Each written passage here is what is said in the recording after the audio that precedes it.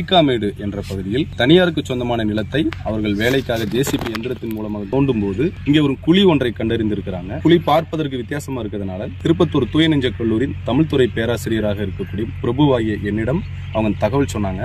நாங்கள் இந்த திருப்பத்தூர் மாவட்டத்தில் தொடர்ந்து பல கலாய்வுகளை மேற்கொண்டு வரதுனால இந்த இடத்துல வந்து முறைப்படி நாங்கள் ஆய்வு செய்தோம். இந்த கிடங்கானது தமிழர்கள் தானியங்களை சேமித்து வைப்பதற்காக பயன்படுத்தப்பட்ட தானிய கிடங்காகும். பண்டக்குழி அப்படின்னு சொல்லுவாங்க. இந்த பண்டக்குழியானது பத்தடி ஆழமும் பதிமூன்று அடி சுற்றளவும் கொண்டதாக இங்கே அமைக்கப்பட்டிருக்கிறது. இதன் வாயில் பகுதி ஒன்றரை அடி சதுர அளவில் அமைச்சிருக்காங்க. அந்த வாயில் பகுதியில் பலகை கற்களை கொண்டு அவங்க மூடி வச்சிருக்காங்க. இந்த பண்டக்குழிக்குள்ளார அக்காலகட்டத்து மக்கள் தாங்கள் விளைவித்த தானியங்களை எல்லாம் சேகரித்து வச்சிருக்கக்கூடிய பழக்கம் இருக்கிறத பண்டக்குழியின் மூலமாக நாம் அறிந்து கொள்கிறோம்.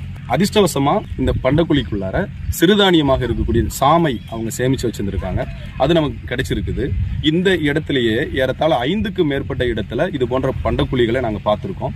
ஐந்தாவது குழியாக இருக்கக்கூடிய இந்த குழியில தான் அந்த சாமை என்கிற அந்த சிறுதானியம் இருப்பதை நாங்கள் கண்டறிந்திருக்கிறோம். தமிழர்களுடைய வாழ்வியல்ல விவசாயமும் விவசாய பொருட்களை எப்படி சேமிச்சு வச்சிருந்திருக்காங்கிறதுக்கும் இது ஒரு நல்ல சான்றாக இங்கே நமக்கு கிடைத்திருக்கிறது.